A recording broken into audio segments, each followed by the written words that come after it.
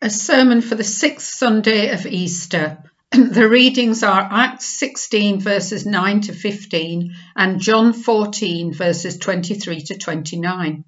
Well, if you read through the book of Acts, you'll find all kinds of exciting things going on. Thousands of people coming to believe in Christ, people being healed, even dead people being brought back to life.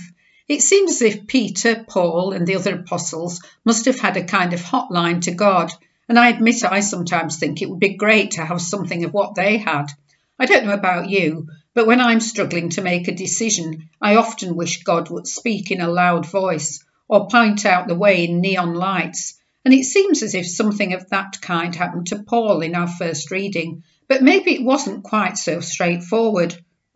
Paul and his companions appeared to be travelling towards Turkey. In fact, they'd already travelled about 200 miles on foot without any real certainty of where they were headed.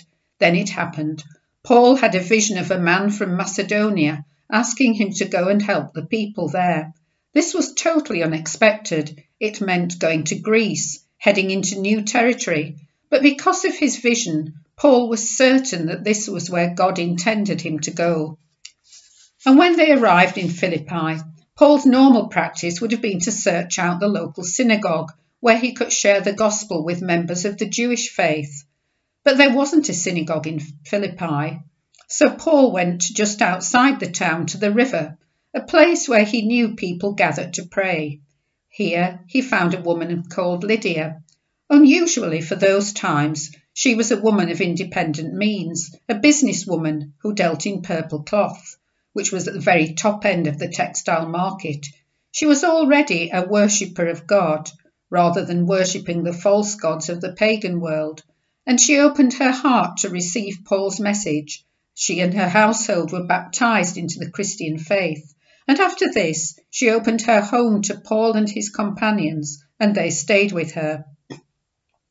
Lydia responded to God's presence in her life by showing generosity and hospitality, providing a base from which Paul could carry out his ministry and a meeting place for fellow believers.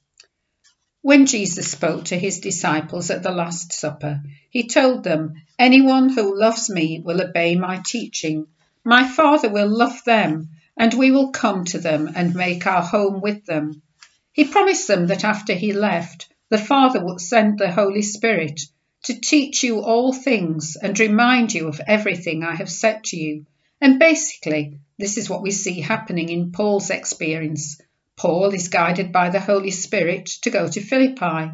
The Holy Spirit opens Lydia's heart to receive Christ, and she responds in care for others.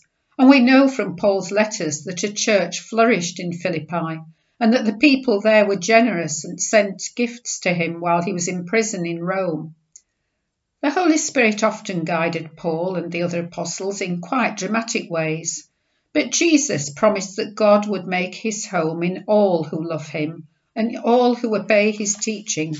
He promised the Holy Spirit to all who believe in him as their Lord and Saviour.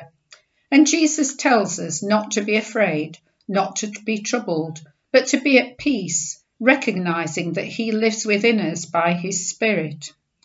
Often in the book of Acts, we find people being filled with God's Spirit at their baptism and we, when we baptize someone in our churches, we pray for the Spirit to fill them and to guide and renew them day by day.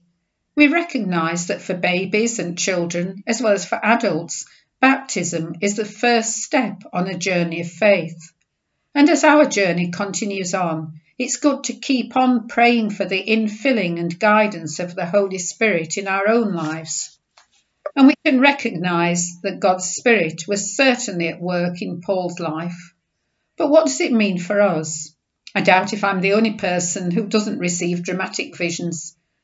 But actually, Paul didn't always see things as clearly either. Before they were called to go to Macedonia, we read that they were kept by the Holy Spirit from preaching the word in Asia. They tried to enter Bithynia, but the Spirit of Jesus wouldn't allow them to. We aren't told how this happened, but something definitely stopped them from going where God didn't intend them to go. And perhaps you've had the experience of deciding to go somewhere or to do something and then you've had that feeling that you really shouldn't. Or maybe you found yourself prompted to visit someone or give them a call, and afterwards you've realised it was just what they needed you to do. God doesn't always communicate with us in dramatic ways. The Holy Spirit is a spirit of intimacy, drawing us nearer to God, helping us to understand the depth of His love for us, helping us then to love Him, and in doing so to love one another. He calls us to leave behind selfish attitudes and to serve one another, not to judge others, but to be compassionate and forgiving.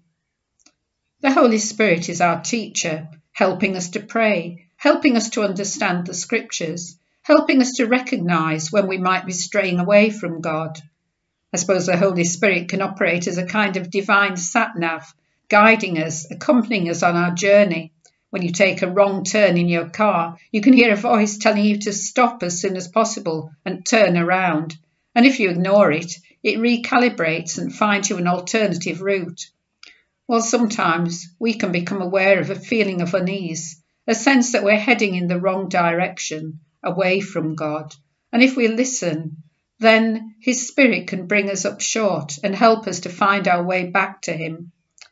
And as we recognize God's love for us, we can respond by living, loving Him more and desiring to do His will. And we can also recognize that we can't carry out His will in our own strength.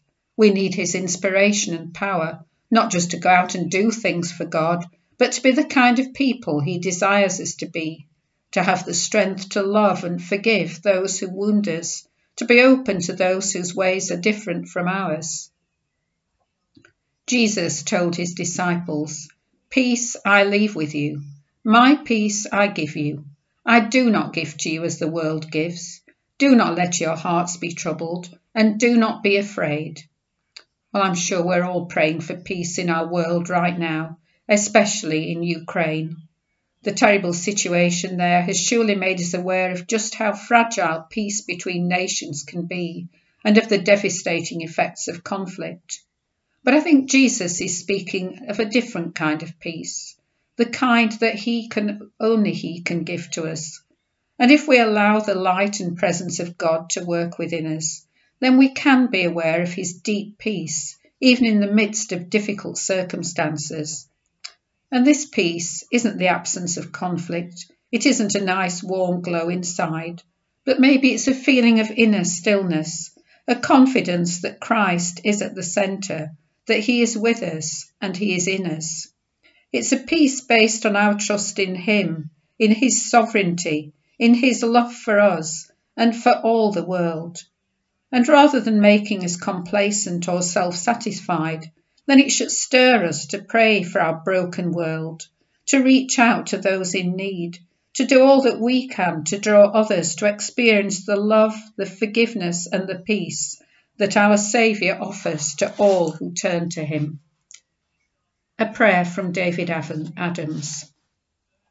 Lord Jesus Christ, who promised that in you we would find peace, give us that peace which the world cannot give the deep peace of God, which passes all understanding. In all our troubles and anxieties, keep us calm and hopeful. Grant that we may know that we abide in you and in your peace, through Jesus Christ our Lord. Amen.